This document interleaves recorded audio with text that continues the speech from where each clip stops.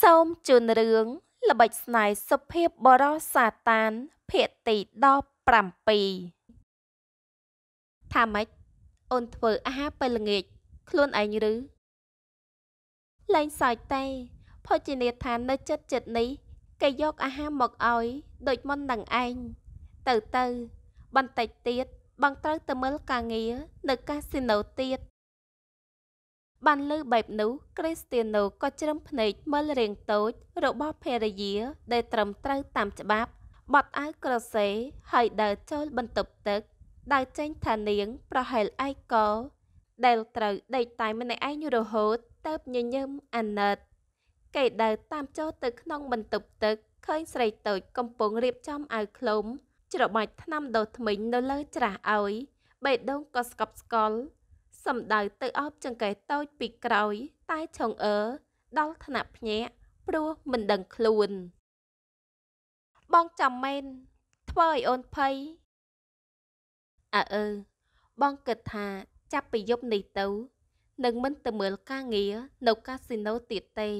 ទៅធ្វើការងារតែពេលព្រឹកក៏គ្រប់គ្រាន់ហើយល្អដែរទេ ចា តែបងត្រូវទៅមើលការងារ មិនអញ្ចឹងស្រីតូចបង្វិលខ្លួន ទៅ ប្រឈមមុខជាមួយម្ចាស់រង្វង់ដៃដែលមិនព្រមឡាញ់នាង អ្នកកំឡោះក៏ញញឹមពព្រាយអោនមុខថើបធ្ងន់ធ្ងន់លើបបោមាត់ថ្ពាល់របស់នាងក៏ដូចជាក្តៅឡើងមួយរំពេចឡាញ់ទៅហើយបើសិនជាកូននិងប្រពន្ធបងកើតអីពាក់កណ្ដាលយប់នោះធ្វើយ៉ាងម៉េចមិនចង់ទៅឲ្យអ្នកផ្សេង ធ្វើជំនួសសិនក៏បាន តែវាល្អឬឆុងអឺសួរតិចតិច មានអារម្មណ៍ថាក្រែងចិត្តគេដោយប្រាប់មិនត្រូវល្អទេតើបើអូននឹងការងារបងជ្រើសរើសអូនសំដីដែលបញ្ជាក់យ៉ាងច្បាស់លាស់ធ្វើឲ្យឆឹងអឺស្ងាត់មាត់និយាយអីមិនចាញ់ម្ដងទៀតប្រហែលមានតែកែមាត់ស្ដើងដែលញញឹមដោយភាពស្កប់ស្កល់ចិត្ត ចំពោះពេលផ្អែមល្ហែមរបស់គេ សម្រេចថា ចាប់ពីយប់នេះទៅ បងនឹងគេងនៅបន្ទប់របស់អូនអេថាម៉េចឆុងអឺចាំបាច់ត្រូវប្រសពភ្នែកជាមួយគេម្ដងទៀតសួរដោយការភ្ញាក់ផ្អើលព្រោះតាំងពីចាប់ផ្ដើម នាងនឹងគេដេកបែកបន្ទប់គ្នាដោយហេតុផលដែលដឹងស្រាប់ទាំងពីរនាក់ ថាសម្ព័ន្ធភាពលើកនោះ មានត្រឹមតែដើម្បីក្មេងតូច នៅក្នុងពោះរបស់នាងតែប៉ុណ្ណោះគឺដូចដែលប្រាប់បើអូននឹងកូនកើតអីពេលយប់អូនអាចនឹងឈឺក្បាល មិនស្រួលខ្លួន បើបងមិននៅចិត្តហើយកើតមានគ្រោះថ្នាក់អីនោះ បងនឹងមិនអភ័យទោសឲ្យខ្លួនឯងដូចនេះហើយ ជួយត្រៀមខ្នើយមួយទៀតឲ្យបងផង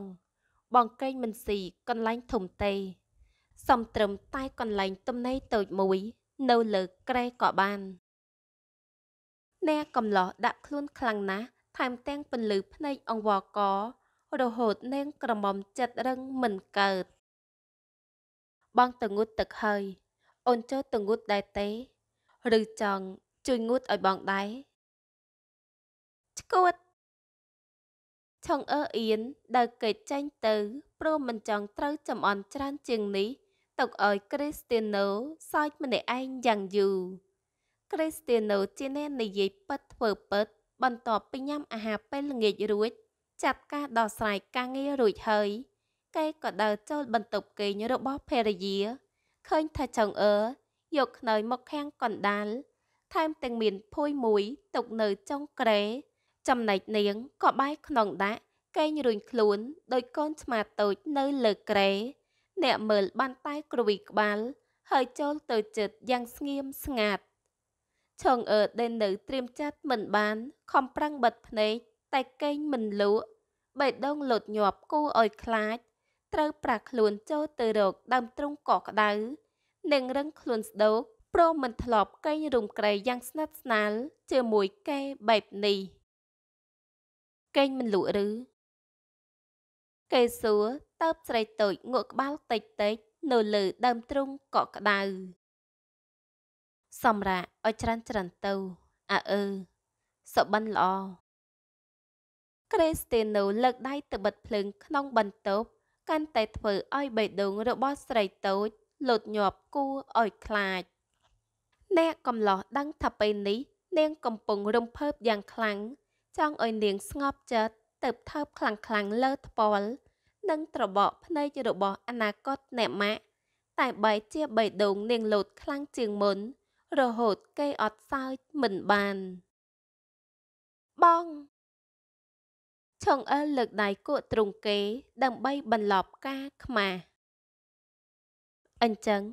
ច្រៀងឲ្យស្ដាប់បានទេ អូននឹងបានកេងលក់នោះអីមិនជឿឬថាបងច្រៀងពីរោះបងច្រៀងបានពិតមែន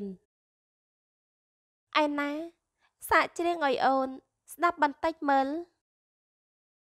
ប្រាប់បែបនោះហើយក៏នឹកចង់សុំឲ្យគេឈប់ច្រៀងវិញ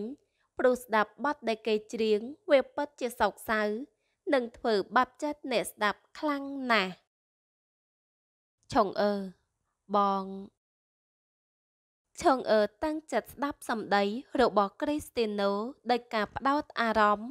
បេះដូងលោតខ្លាំងខ្លាំងគ្រប់ខណៈ ណានៅបទចម្រៀងផ្អែមល្ហែមដែលគេច្រៀងឲ្យស្ដាប់ទៀតរង្វង់ដៃកក់ក្ដៅដែលអោបជាប់បណ្ដេញភាពរងានិងភាពភ័យខ្លាចបានដោយមិនគួរឲ្យជឿតែមិនប្រកាសចិត្តទេថាអ្នកម្ខាងទៀតត្រូវការប្រាប់អីតាមតាវាទៅក្រេស្ទីណូជ្រើសរើសកាត់សម្ដីមិនចង់និយាយច្រើនជាងនេះ ធ្វើឲ្យឆុងអឺដែលចាំស្ដាប់ខកបំណងយ៉ាងខ្លាំងហេតុអីបងចង់សួរអីឬអត់តែគ្រីស្ទីណូមិនព្រមនិយាយបន្តក្រសោបរង្វង់ដៃហើយក៏បិទភ្នែកកេងទាំងបែបនោះគេខ្លាចថាសម្ដីរបស់ខ្លួននឹងចងចិត្តនាង រហូតកាន់តែតានតឹង ខ្លាចថានឹងកាន់តែធ្វើឲ្យស្រីតូច ជ្រុលជ្រោះកាន់តែខ្លាំងពេលនេះនាងទៅតែអាយុ21ឆ្នាំ នៅមានជីវិតដែលស្រស់ស្រាយរងចាំនៅខាងមុខការដែលខាំងនាងទុកនៅក្បែរខ្លួនរាប់ថាជារឿងដែលអាត្មានិយមខ្លាំងណាស់បងធ្វើបែបនេះ អូនកេងមិនលក់ទេដឹងទេសំលេងតូចដកដង្ហើមធំរហូតគេសើច បងក្រន់តែចង់ប្រាប់ថា មិនចង់និយាយសោះក្រែងអូនមិនសប្បាយចិត្តទៀតគេប្រាប់បែបនោះធ្វើឲ្យស្រីតូចធ្វើភ្នែកលេមឡាម តែក៏មិនហ៊ានមើលខ្ពស់ជាងចុងចង្ការរបស់គេ